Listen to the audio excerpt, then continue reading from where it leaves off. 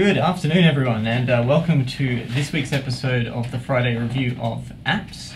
Uh, this week we are hopefully coming to you in higher resolution than usual, um, so you'll hopefully be uh, in a better position to be able to see some of the apps which we're demonstrating. Um, I'm joined today by Fred Chung. Um, my name is Reto, and uh, today we're going to be checking out. Uh, well, we've got five apps on the list. We'll see how many we get through. We're going to have a look at Settle Up, um, ATAOI keyboard, uh, Minimal Twidget, RD Mute, and Heart Sounds and Murmurs. So that's what we're going to be checking out. Right. Uh, That's good. yeah, let's kick let's kick off. Um, we've also uh, hopefully got um, we'll hopefully be able to be joined by some of the developers um, who we have uh, on Hangout, which we will uh, which we'll put on screen as well. Um, I noticed we have one person uh, joined us already. So Um, David is here, right? Hi, David. I think, I, I think you okay. Yeah, unmuted. Um, perfect. And um, which uh, which app are you the developer for? Uh, settle up. Settle Up. Perfect. All right. Well, uh, let's take a look at uh, let's take a look at Settle Up. And before going into apps, I'd like to point out the title that we are introducing today. On-screen title. On-screen That's titles, high-tech stuff. Absolutely. Um, so, actually, while we've got you, um, did you want to tell us a little bit about Settle Up um, while we fire it up on the uh, on the devices? Okay. Uh, so settle up is uh, an app for group expenses. So when you are uh, in a group of people on a trip or somewhere, you can put uh, payments into the app for the whole group. So like somebody paid for gas, somebody paid for accommodation and stuff like that. And at the end, the app calculates who owes who. So it saves you from doing this calculation by yourself. Perfect. All right. That sounds like a useful use case. Synchronization, so you can input the payments into multiple phones, mm, cross-platform, and uh, then it all synchronizes. That's pretty cool. Cool. All right. Let's uh, let's check it out. So um, I've got it here on the uh, on the phone cam. Um, perfect. Um, okay, so you maybe want to lose the overlay as well, so we can see the full thing. All right, perfect. So it's it's a fairly uh, simplistic UI, which is nice. Um, easy to see what's going on. Got an action bar there, no menu, uh, no menu key, so that's nice. Uh, let's see. Yep, settings in the overflow menu. That's uh, exactly what we would uh, hope to see, and uh, not a strictly standard setting screen, but uh, it's in line with the rest of the app. Uh, we've got the back or the uh, the up key there, which is nice. Uh, language settings. It's, it's pretty impressive that uh, Settle Up s- is supporting 18 languages. That is a That- good effort. that is- Some effort And right there. put, uh, crowdsourcing, and it really works. Very nice. Um, so one of the questions I had, uh, you know, you've got the ability to pick language here. Uh, now that's something which the uh, the platform supports, uh, sort of natively. Is there a particular reason why you want to give people the ability to choose the language rather than just using whatever the uh, default is for the, um, you know, for that phone? Yes. like for example me like i'm using uh, my phone in english but i'm i'm from czech republic and i want some of the apps in in czech language so, Mhm. Gotcha. like a a lot of checkups have this option i think it's good to uh, give the choice to the users but uh, by default of course it's uh, what the device is Okay. Okay. Yeah, that makes, that makes a lot of sense. Um, okay. Okay. Um, so, Um, we've got, so we've got the the sync sync frequency, frequency, which is, which is, uh, which is uh, handy. which is handy. Um, notifications, notifications with the, uh, with the, with the action. with the So it's, So all it's- it's really, all really just just about, about, um, um, giving people giving the ability, ability to turn, to on and off, uh, some of the, uh, some of features, which is nice. nice. And, uh, And send uh, send anonymous anonymous usage data, data um, opt out, opt out is, is always is great, always to, have great as to well. have as well. So looking So good looking so good far. so far. Um, let's have a look. Let's have a look. Did, Did, So it's using the using the dashboard dashboard pattern. pattern It is, right? it is. Right. So what, what do So you what think do of you the think of size the size of the icons? I think, I I think, you know, they could be a little bit, a little bit bigger. bigger. I think so. I think yeah, so, yeah. yeah. That's, I mean, that's, that's- going to that's be, gonna be- it's actually it's actually interesting interesting that that you've, you've, that um, you've chosen to use that, chosen to use dashboard the pattern here because it, because it demonstrates one of demonstrates one of the, the um, um, you know, one of the you know, one of the reasons why reasons that's, why that's starting to become a less become a favoured UX pattern, UX pattern. um, is that if you've only kind of got two icons here, um, you know, there's a, a bunch of space which is empty, a bunch of white space, uh, as, as you can see on here. Um, and so it feels like almost new ju- uh, new group or join shared group should be an action on the action bar uh, rather than you know these these icons, and then you could start uh, right in it. Now, is this something that just comes up the very first time? Yeah, it's just for the first time. That's, that's for the first time users. If you if you have the two icons, yeah.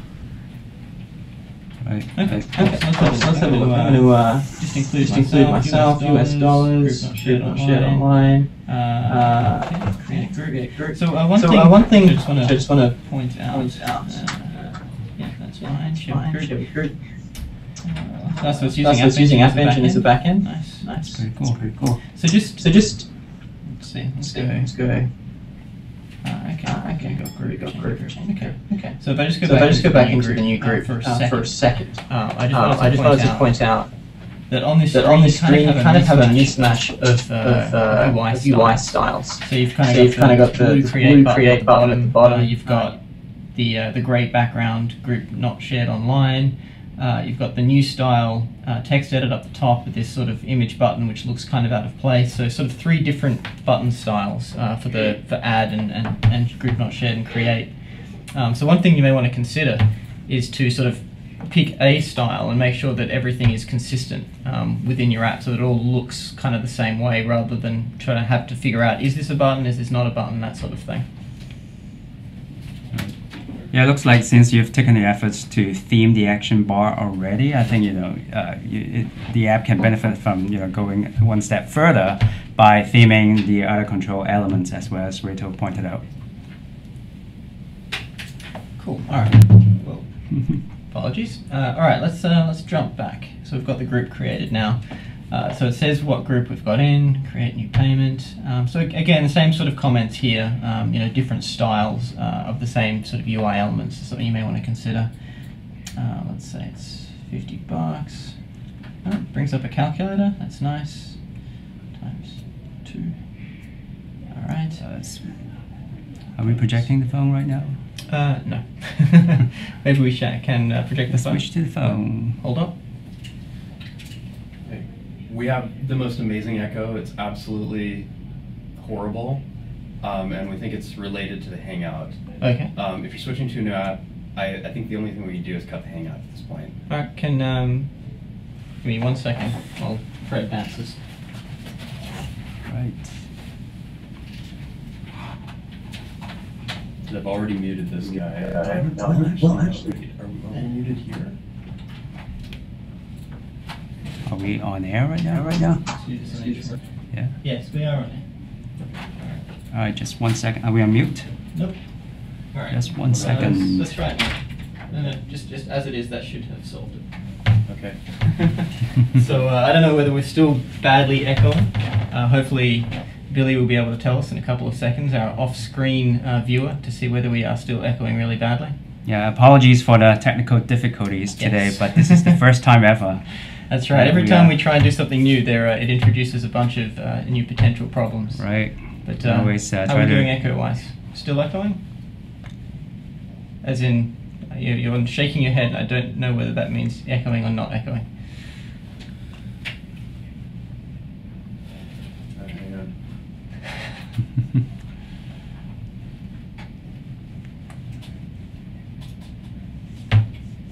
Apologies, everyone, as we uh, try and work our way through. Yeah, Billy says thumbs up. So we're so good. I think we're good. Let's go back to settle up. Yeah. All right. Perfect.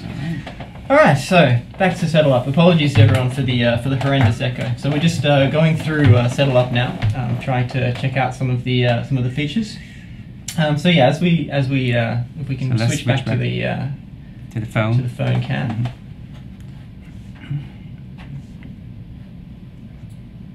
Ian, if we can switch back to the phone cam. Possibly not. How about a tablet? Anything? Hey, Ian, can we uh, have a look at the phone?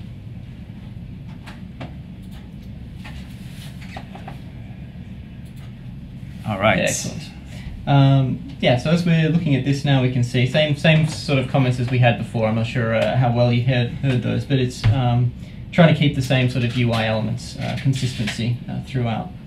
Um, so add payment, uh, and let's see.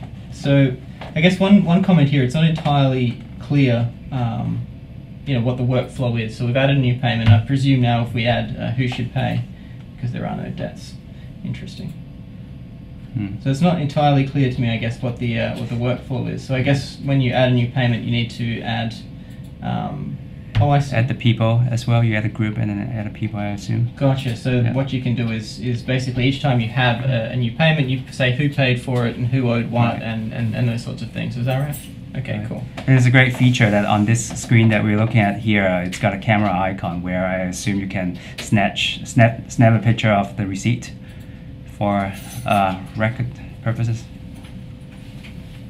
That's pretty cool. Excellent. Um, okay, let's have a look. So, so again, even still at this point, I'd say that the um, the the tablet, uh, I should say, the dashboard pattern here is probably not your best bet. Um, you know, you probably want to have these. These are all probably decent um, action items uh, where you have.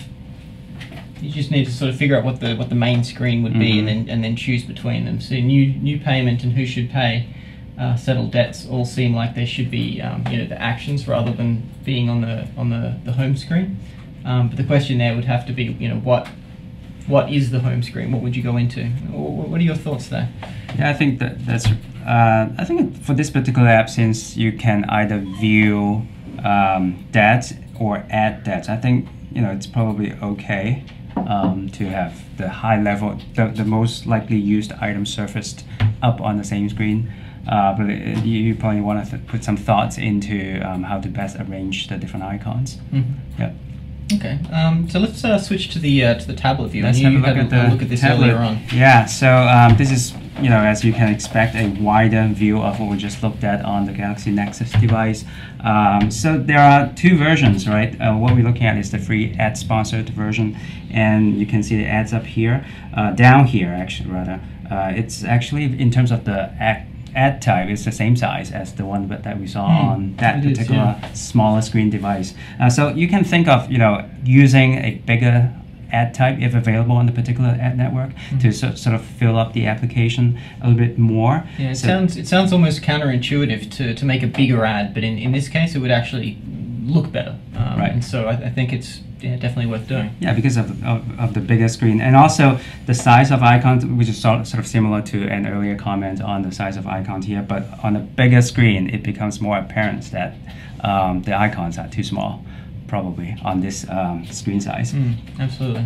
Yeah, so uh, let's have a look at payments log.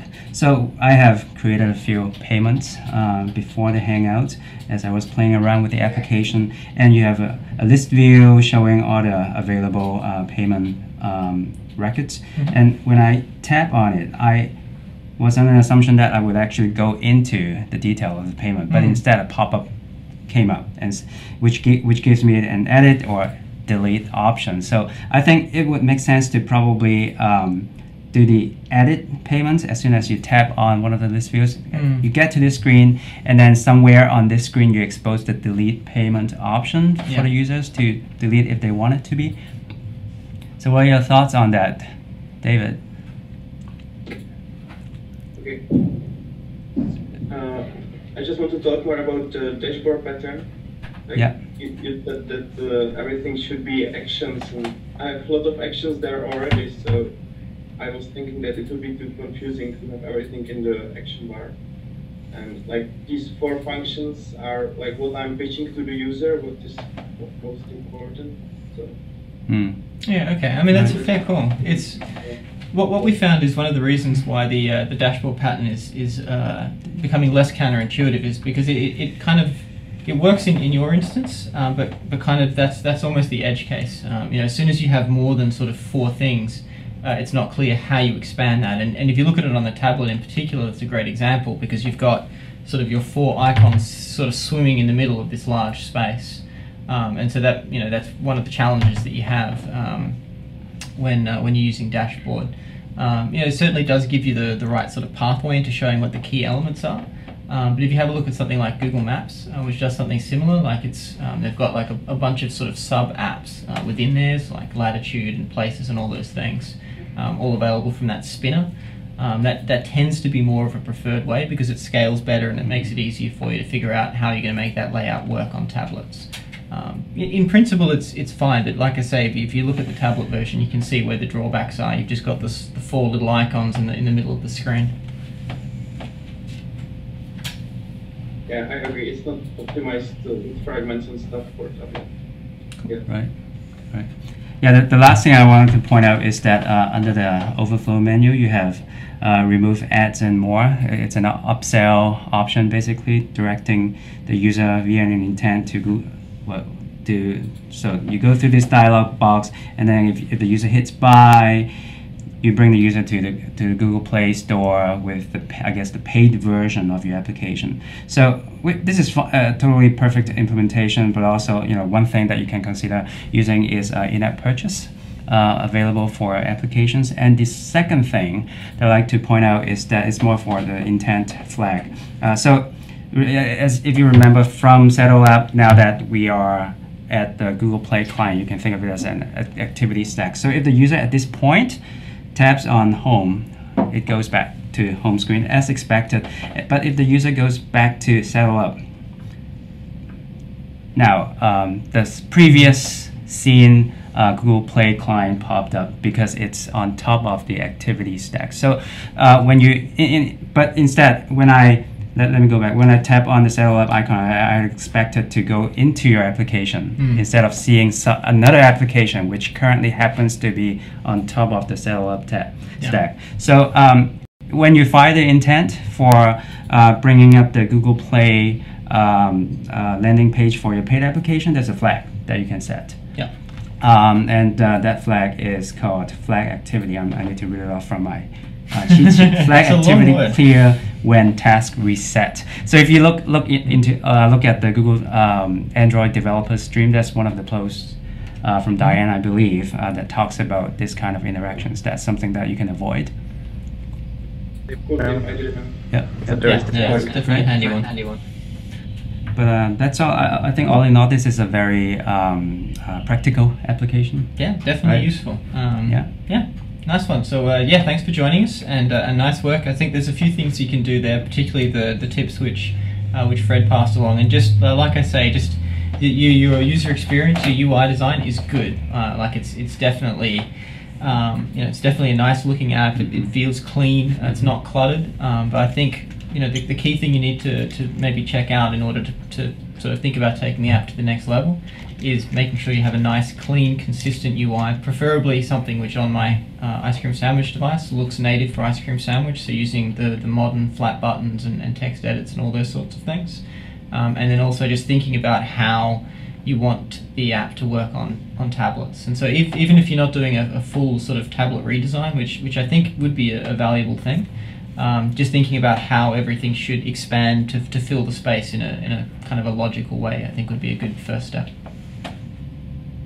Okay, thank you. Great. All Thanks right. for joining us today. Cool. All right, let's uh, let's move on. Let's um, let's have a look at the ATAOI keyboard. Uh, now, I think you've managed to get it installed on the uh, on the Yes, tablet, I have. which is nice and high def. Yes, I have. Um, is the developer with us? No. I don't think so. All right, maybe next time. Uh, so let's let me uh, fire up, say, uh, Gmail, right? Gmail. All right, this is my test screen. So here's the IME. It's interesting. Um, so I have no idea how to use it, but I think you know there, there must be a purpose for a certain demographic. So uh, and I probably we need probably need to spend more time practicing. Yeah, I think the it. key here is it's supposed to be fast. It's supposed to be a Right. five finger sort of scenario. Right. So if you so my cursor is up here, and, and if you do some swiping and tapping, um, you see text. But Let's let's have a look. Let's see if we can if we can work it out. So let's have a look logically. I'm going to try and type. Um, well, let's go with. No, that's interesting. just type Android. Oh, okay, yeah. A. Where's the N? It's kind of. Uh, N. And, and my understanding is that for some characters, you have to swipe on um, one of the keys. Mm, it's definitely So not it's obvious. it's not obvious. Yeah, so that's the backspace. So swiping, swiping that way is giving me G. That's interesting. Interesting. and enter doesn't really give me a character Right, return. But right. if if you switch to You won't be able to switch to oh, I landscape. will. Okay. See, I can uh, I can try I and bring it up can't, I can't do that, but I think there's a view where there's a help screen. But I think one sort of feedback from a technical angle is that uh, when you tap on any of these keys, you don't get the visual feedback, Hmm. right? Yeah, so that's that's true. something for you, don't to think about. been Hit. Yeah, so I, I think one of the challenges here is that it's, it's pretty baffling um, if you haven't sort of been given the instructions Yeah, you probably want to spend on. some time practicing uh, using Yeah. this. Uh, And I think it might be useful to have uh, something like that built built into the app, um, sort of a, an easy way to get a tutorial up from this screen, given that it's it's not obvious exactly how it's how it's used. Um, so that's part of that's our fault uh, for not spending a little bit more time figuring it out. right? Um, but just looking at the uh, sort of looking at the UI uh, by itself, one of the things I want to mention is that it's uh, it's quite it's quite blocky. Um, so it's big and it takes up a lot of the screen. Um, we have a closer look at it here. Do you have it on the Galaxy Nexus? Uh, I do. I haven't actually figured out how to. Uh, how to bring why, it up. why don't you comment Please, yeah. this let me Perfect. Um, yeah. So oh, this is nice. Um, so one of the things which I like about a lot of the custom keyboards is that they look really polished. They look really nice, and, and given the keyboard is something which is going to come up a lot, um, it's worth spending that time to really make it to, to round the edges and, and really polish it up and, and make it look you know really slick. Uh, and that's something which I think this particular keyboard could do a good job of. Um, so things like the um, the the input, like the uh, the feedback to show you that you've actually touched something. Well, actually, on the phone version, It's got the there's some sheet. instructions. Nice. All right. Let's uh, let's, switch the, uh, to the phone. Bring the phone up here, and uh, and we should hopefully be able to, uh, to get a little bit more guidance. Thank you. All right. Um, All right. well, I think we may need to go bigger. Yeah, that's the way. Almost. Yes, perfect. Um, okay. Um, so it does have a cheat sheet, but I have to admit that the cheat sheet is not helping me a lot here. Um, so it shows me how to do emoticons. Oh, so I can swipe through, so that's quite handy. Um, so as I'm swiping through the tutorial, I'd, I'd point out that it would be Hmm. useful for this to be more of a, a view pager implementation, um, so that I can see that swiping is actually doing something. Can you do a view pager in IME? I, have I no haven't done. I haven't done, so I don't know the answer to this. Uh, but if you can't do a view pager, it would be useful to at least uh, you know have it sort of pan uh, smoothly in the same way. Right. Um, so let's have a look. The tap the blue key once for E, green key for T, yellow for A, orange for O, and red for space. Slide up starting from red key for I. Interesting. To delete a single character, slide up starting from the blue key. To delete five characters at once, slide down starting from the blue key. Okay. Uh, there's some practicing. So this this is uh, this is this is kind of a complicated scenario. So uh, uh, what I would what I would definitely provide feedback but I'd be interested to find out how many users you have and if this is designed around a specific use case. You know, if this is implementing sort of a known keyboard pattern. or Right. That's what I'm wondering too. yeah. or is this just totally invented from scratch? Because if it's from scratch, I think you're going to find it quite difficult to uh, to train people to use this keyboard because it's it's complicated. Um, it's very complicated. Um, in terms, like I say, in terms of the look and feel. So leaving aside the functionality and how, how easy it is to use, I think the, the key stuff here is that you want to be providing more feedback. And so um, as I'm pressing these things, while things are happening, uh, it's not clear which key that I am touching. Um, so I definitely want to be able to see when, as I do a finger down, I want to see the blue, the green key or whichever one I've selected change color or change Mhm. state in some way, so that I know that I've, I've done that. Um, and then if there's a way to be able to provide some on-screen assistance, so that I know what to do next, um, that would also be be very valuable as I start to drag to give some idea of you know what what is this going to do. Um, yes, because we know that Maybe you can introduce a beginner mode versus an Yeah. advanced mode. I'm sure after a week or so, if we're actively using it, we can be experts Exactly, using it. But for exactly. beginners like us right now, uh, it would be very helpful to have some sort of visual cue Mhm. and instructions, which you have, but it can probably use some improvements, Yeah. at least for us. Um, the other thing I'd uh, other thing I'd point out. So Yeah. on the on the phone here, it's it's it fits perfectly along the bottom, uh, which is as you'd expect. And you'll note that on the tablet, it was sort of stuck just on the the left hand bottom corner. Um, so that's something that you want to look at. Make sure that the um, that whatever the optimization is, that it works on a variety of devices. I'm going to try and put this into uh, landscape mode. So yeah, as soon as I put it into landscape, I get the same effect um, with the keys just on the, the bottom left, sort of not spreading out. Now that may be intentional, um, but I think it's something that you want to consider, like you know, I would think if it's supposed to be for, for fast, sort of easy to reach with your thumb type typing, then a better approach, um, you know, in landscape mode would be to split it up on either side, so you've kind of got thumbs on either side. Um, so that's something to consider as well. Just how does how does this keyboard work on different size screens, different layouts, uh, different devices, those sorts of things. Um, but it's definitely interesting. Yeah. Definitely interesting. I think so too. Um, yeah. We'd like to get some feedback from the developer Yeah, if you're online or give us comments. Absolutely, we Uh, would love to hear from you. We can maybe take a, another look um, at the app once we uh, once we have a, or maybe just uh, have a chat um, on a, on a hangout and find out Yeah, know, a little bit more about it. Seems interesting. want to be educated on this. Absolutely. Yep. All right, so shall Sounds we move on to uh, minimal Twidget? We're going to have to hammer through these because uh, we don't want to eat into the uh, the games review. You get to take advantage of our ineptitude to have a much more polished production at, uh, at two o'clock. Exactly. Uh, all right, so minimal Twidget. Uh, let's have a look here. Uh, I've got it on the phone. I will. Uh, let's see. I'll press the thing. See what it does. So it's a widget, um, which is nice. So once you uh, when you click it on the uh, from the launcher icon, it gives you instructions as to how to get started, um, which is nice. Uh, it tells you.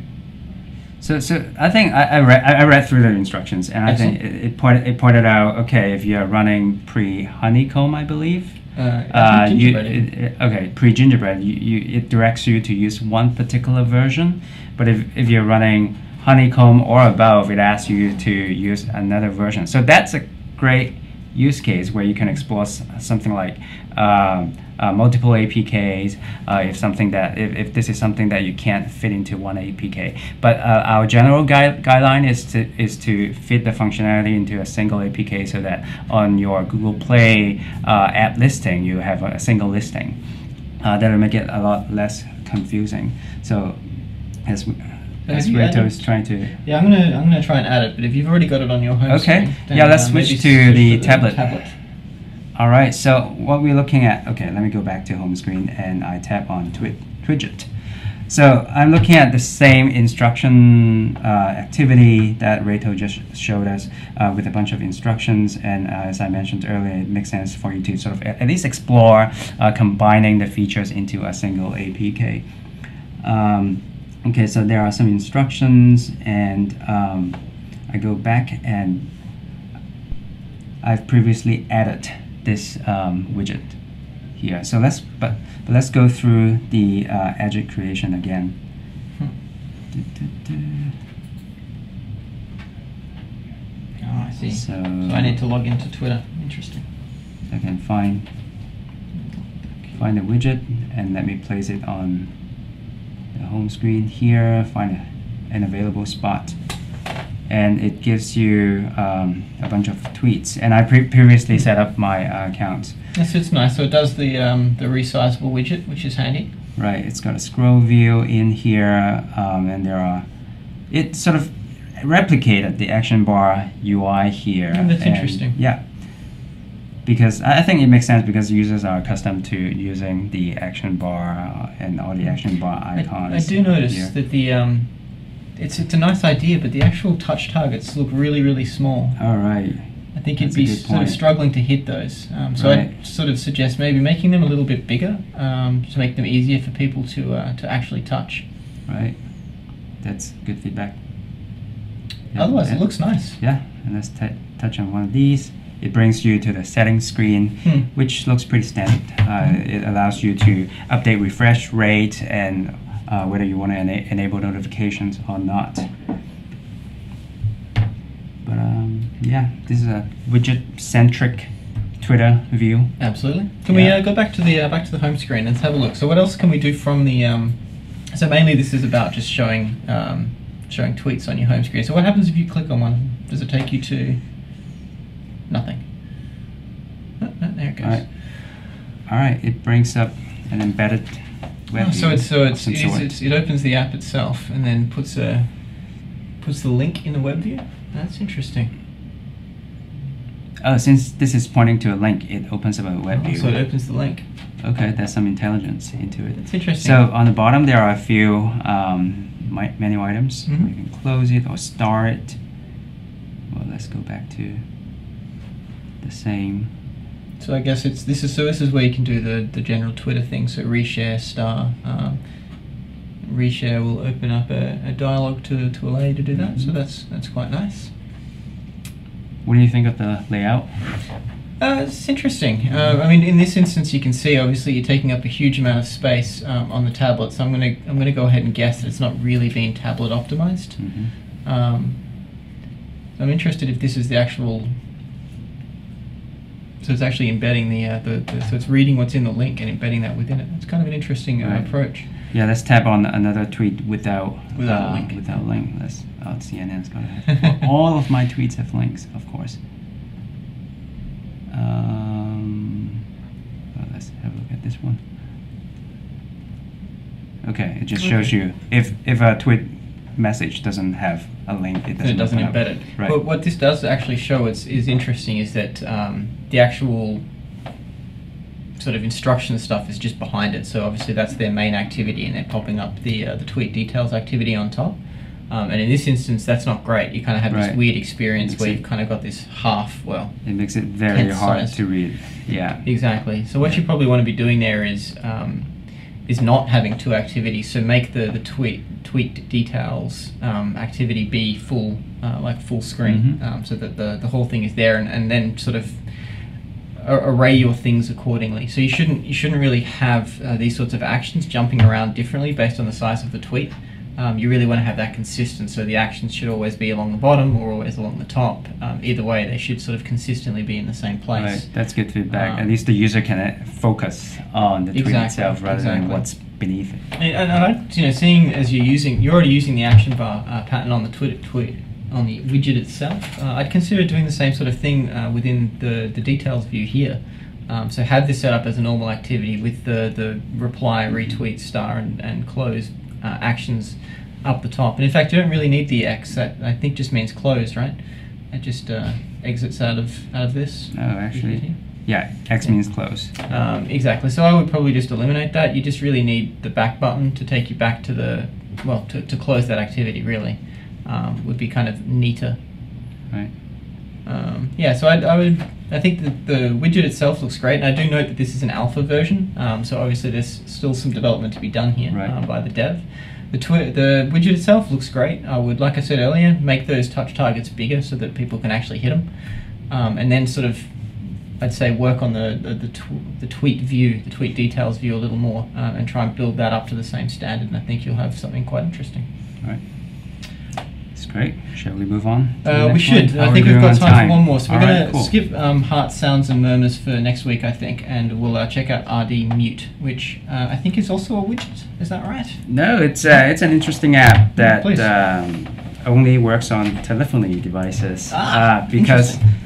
Um, so, so apparently they, they have uh, some innovative ways to uh, automatically mute a device. So considering if you are driving or if you're in a meeting, Mhm. uh, if you put your telephony device face down, it automatically mutes your device. So that's pretty That is interesting. Let's have a look at it. All right, so we open it up.